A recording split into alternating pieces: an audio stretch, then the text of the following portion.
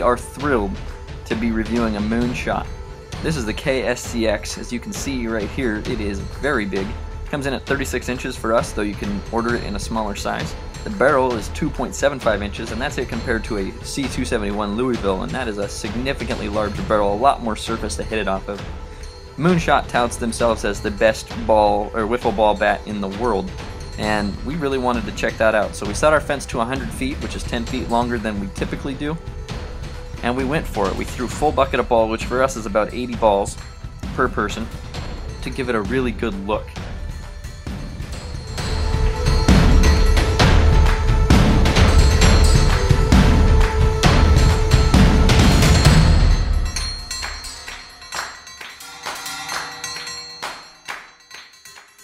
As this bat costs $200 from the factory, we didn't want to shortchange anybody on our opinion, so we took quite a few swings with it. This highlight reel is quite a bit longer than we typically make, just because we wanted to give it a fair shake. If we're, if we're testing a $200 bat, we better know what we're talking about.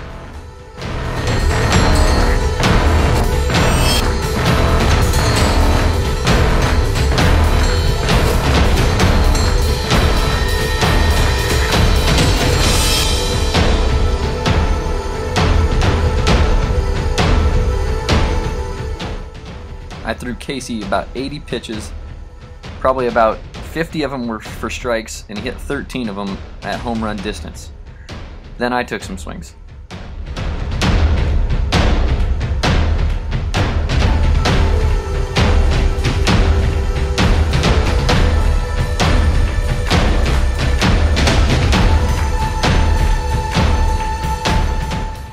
This bat is a little heavier than say a Louisville C271, and that's because of its construction.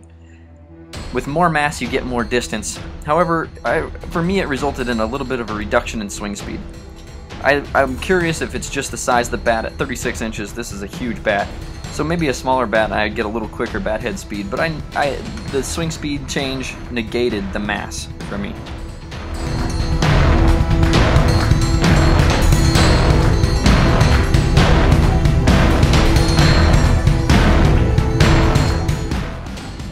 Really unique feel to this bat because it's very thin-walled, but it's made of a seriously durable substance in carbon fiber and Kevlar.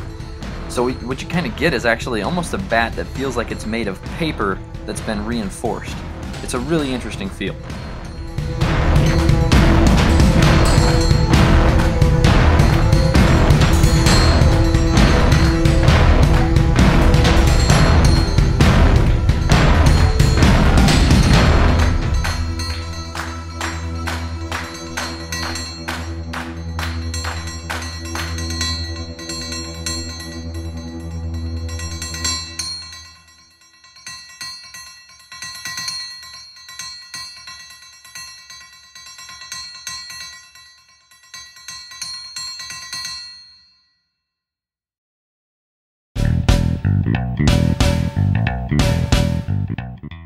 Because it's 95 degrees and because there's quite a bit of humidity, we wanted to make sure we were swinging these bats in the same conditions, so we took swings immediately following the moonshot with these two bats.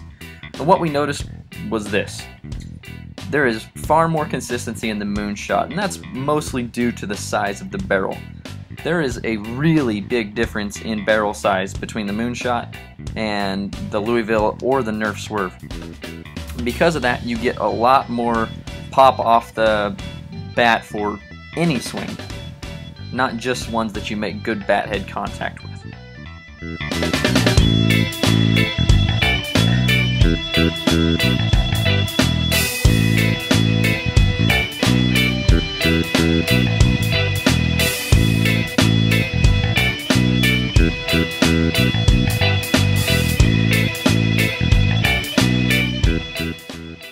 Results with the Nerf Swerve were really similar to that of the Louisville C271. The Moonshot was far more consistent.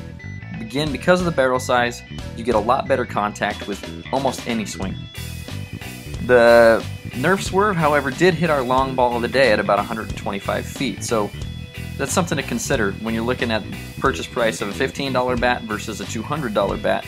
In the end, there's only so far that a ball can travel. But if you're into a consistent pop off the bat, with most of your swings, the Moonshot was the clear winner.